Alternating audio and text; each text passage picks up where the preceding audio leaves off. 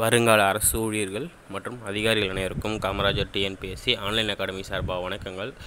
Group four result விட்டுட்டு posting எல்லாம் போட்டாச்சு. குரூப் ஃபோர் ரிசல்ட் விடும்போது ஒரு சில மாணவர்களுக்கு ஓஎம்ஆரில் இருக்க கொஷினுக்கும் அவங்க எழுதின கொஷினுக்கும் வேறுபாடுகள் வந்து கிட்டத்தட்ட முப்பது நாற்பது கொஷின் வித்தியாசம் வந்துச்சு. ஏன்னா குரூப் ஃபோர் எழுதின எல்லாருக்குமே தெரியும் நம்ம எவ்வளோ கொஷின் போட்டிருக்கோம் அப்படின்றத. சரிங்களா? ஓஎம்ஆருடைய ரிசல்ட்ஸ் வரும்போது என்ன முப்பது நாற்பது கொஷின் விச வித்தியாசம் வந்ததால் அவங்க வந்து கோர்ட் வரைக்கும் போயிருக்காங்க. கோர்ட் வரைக்கும் போயிட்டு மதுரை ஹைகோர்ட் என்ன சொல்லியிருக்காங்க அவங்களோட ஓஎம்ஆரை உடனே கொடுங்க அப்படின்னு சொல்லியிருக்காங்க. ஓஎம்ஆரை வந்து திருப்பி கொடுத்துருக்காங்க. அதெல்லாம் குறிப்பிட்ட சில மாணவர்களுக்கு வேலை கிடைக்க போகுது. அவங்க வந்து எவ்வளவு கட் ஆஃபோ அந்த கட் ஆஃப்குள்ளே தான் இருக்காங்க. ஸோ அதனால் அவங்களுக்கு வந்து வேலை கிடைக்க போகுது.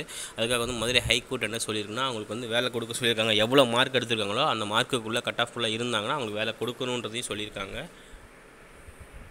அதற்கான நியூஸ் தான் இது. குரூப் ஃபோர் விடைத்தாளை மதிப்பீடு செய்து உரிய பதில் மனு தாக்கல் செய்ய வேண்டும். குறைவான மதிப்பெண் அளித்ததா வழக்கு. மதுரையை சேர்ந்த கண்மணி கீதா முத்து முத்துலட்சுமி ஆகியோர் மதுரை ஹைகோர்ட்டில் தாக்கல் செய்த மனுவில் இதை சொல்லியிருக்காங்க. குரூப் ஃபோரில் பத்தாயிரத்தி நூற்றி பதினேழு வேகன்சிக்கு இந்த குரூப் ஃபோர் எக்ஸாம் எழுதியிருக்கோம். அதில் வந்து பார்த்தீங்க அப்படின்னா ரிசல்ட்ஸும் அனௌன்ஸ் பண்ணாங்க. இந்த தேர்வு இந்த தேர்வை பொறுத்தவரை நாங்கள் இரநூத்தி ஐம்பது மதிப்பெண்கள் மேல் பெற வாய்ப்பு உள்ளது. ஆனால் வந்து குரூப் ஃபோர் விடைத்தாளில் மோசடி குழப்பம் நடந்திருக்கு. எங்கள் விடைத்தாளை வழங்க வேண்டும் ஹைகோர்ட்டில் கேஸ் போட்டிருந்தாங்க. நூற்றி அறுபத்தொம்பது வினாக்களுக்கு இப்பொழுது அவங்க சரியான மதிப்பெண் மதிப்பெண்கள் கொஷினுக்கு மார்க் போட்டிருக்காங்க. ஸோ அதனால் வந்து அவங்களுக்கு வந்து நீதிபதி விஜயகுமார் என்ன சொல்லியிருக்காங்க அப்படின்னா அவங்களுடைய ஓஎம்ஆராக ரீகரெக்ஷன் செய்து எவ்வளோ கொஷின்ஸ் போட்டிருக்காங்களோ அதுக்கேற்ற மாதிரி வேலை கொடுக்கணும்னு சொல்லியிருக்காங்க. ஸோ நீங்களுமே அதுதான் நான் சொல்கிறேன் நீங்கள் எழுதுனது கான்ஃபிடெண்ட்டாக இருந்தீங்கன்னா கோர்ட்டுக்கும் போகலாம் கேஸும் போடலாம். என்ன ஒரு கொஞ்சம் தான் செலவாகும்.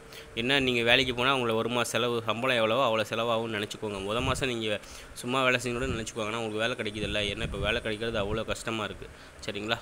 அதனால் வந்து நீங்கள் உங்கள் லெவலில் கான்ஃபிடெண்ட்டாக இருந்தீங்கன்னா கோர்ட்டுக்கு போகலாம் கேஸ் போடலாம் தப்பு கிடையாது. சரிங்களா? ஃப்ரெண்ட்ஸ் எல்லாருக்கும் ஷேர் பண்ணுங்கள் நம்ம சேனலில் டெஸ்ட் சீரியஸ் போயிட்டுருக்கு. Tamil test series GK test series join பண்ண விருப்பம் இருப்பவர்கள் nine six two nine nine zero five one nine ஜீரோக்கு வாட்ஸ்அப் பண்ணுங்கள் சரிங்களா? Thank you